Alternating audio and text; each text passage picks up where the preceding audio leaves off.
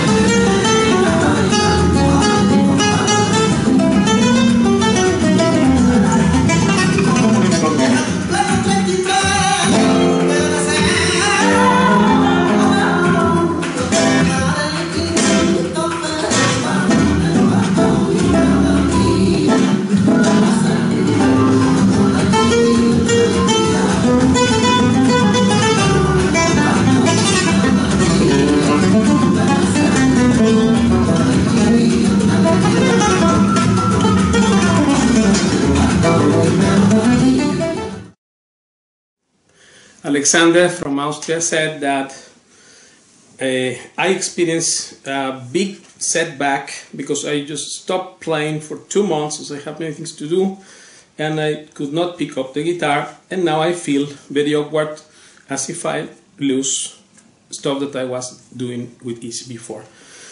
Yes, this is so true. they said this joke that, joke that uh, the first mm, three days you don't play only you notice it. If you stop playing one week, your friends will start noticing it. If you stop playing two weeks, then although non-friendly people will notice it, and in one month you're fired from the from the conservatory or from the group, right? Well, this is true. That guitar, you know, this is very yellows. You have to caress it every day. Even if you play, suppose if you play 10 minutes or 5 minutes a day to get some maintenance there, you will not lose uh, so dramatically. But if you stop playing totally, like imagine two months, of course, if you learn something properly, it will not take much time to get it back. But it's not a good idea because in guitar, when especially when you pass the, the intermediate or going to the towards the advanced level, whatever you are going to get, you have to put a lot of effort. And then if you stop practicing that skill or that thing technical, technically, for instance, this is very true, then you lose very fast. So it's difficult to go up and very easy to go down, like in life. it's always very easy to pick a bad habit or, or do something detrimental for our lives and difficult to improve things sometimes.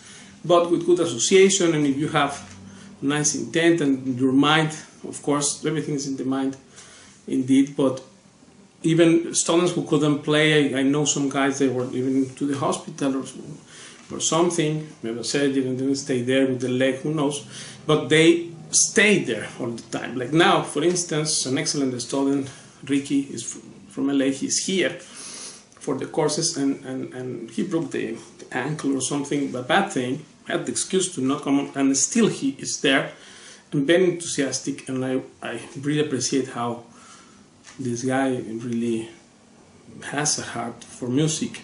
So your desire and your determination have to be put into test. So therefore, don't stop playing. This is what in my method I always give students for, for, for instance, if someone say will have a busy month and then you organize certain things how this guy can practice in 10 or 15 minutes something which be, will be productive and will keep the, his, his assets or what he invested to get technically or otherwise in shape so that at least he's not going down right? But if you don't do that just don't play Yellow's Woman, has the same shape.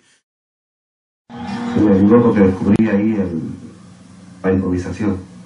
La improvisación es algo que yo pienso que cada músico debería, cada músico del estilo que sea, del clásico, del flamenco, de cualquier otra música debería, debería aprender porque la improvisación te da mucha libertad y a la vez te da mucho conocimiento de, de dónde estás tocando y cómo estás tocando de qué armonías están en cada momento, ¿no? Pablo. Paco, ¿qué es para usted la música popular y qué es la música elitista? Yo creo que la música elitista es el refinamiento de la música popular.